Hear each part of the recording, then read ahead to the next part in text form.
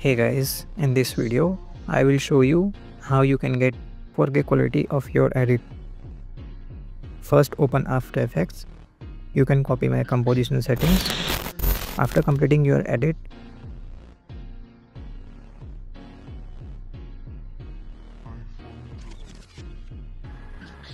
export it using Voukoder and follow my steps.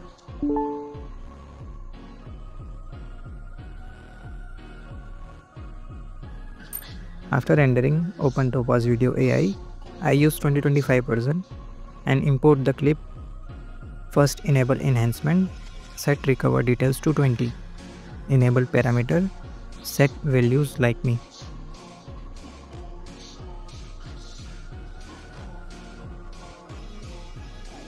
You can copy my export settings. I use default settings.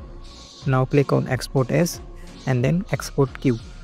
Wait until your clip get enhanced.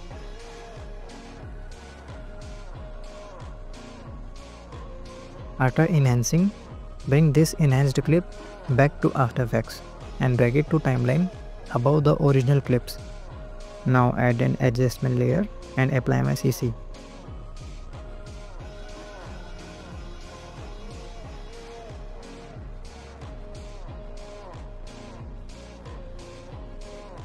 After that, Render it using Voukoder and follow the same steps.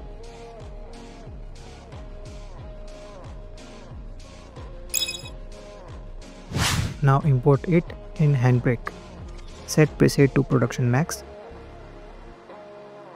Go to video, set constant quality to 20, encoder level to 5.2, encoder preset to very slow. Set audio to its default settings. Now add to queue and start encode. Thank you so much guys for 30,000 subscribers. See you soon.